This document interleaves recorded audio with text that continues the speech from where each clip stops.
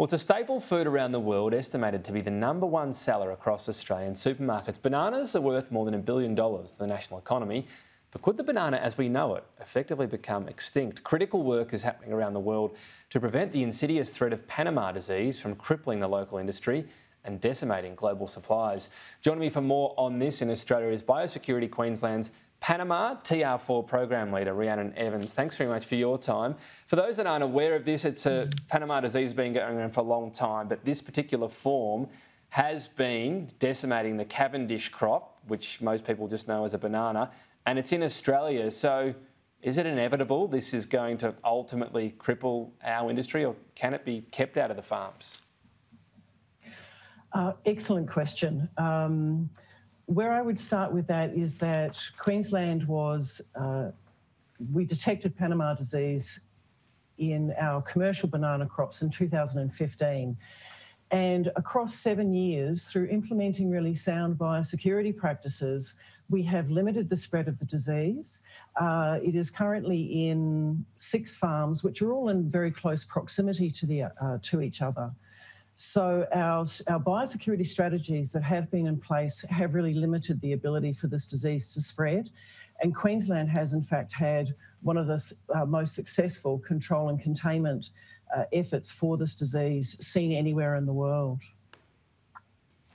Yeah, so it's the other issue as well is ladyfingers are the other banana, I must profess to being a to prefer a ladyfinger. They're, they're susceptible to a different form of Panama disease. But the point is, right now, we don't have a backup, but something's being worked on.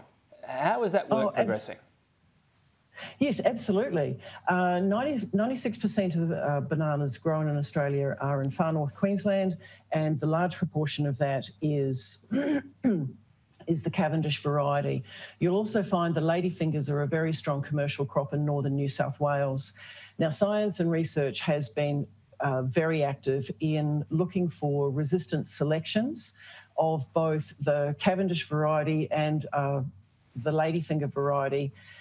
In uh, 2022, we in fact had identified six uh, Goldfinger, subsets of Goldfinger variety, which were accepted by consumers as um, a banana that they would choose to eat. It had all the qualities right. of the bananas that Cavendish have today. Um, and as a result, we're now looking at taking the value of those particular uh, varieties and species and looking at their agronomic production because not only do bananas need to be good to eat, but they also need to be economically viable to produce. Yeah.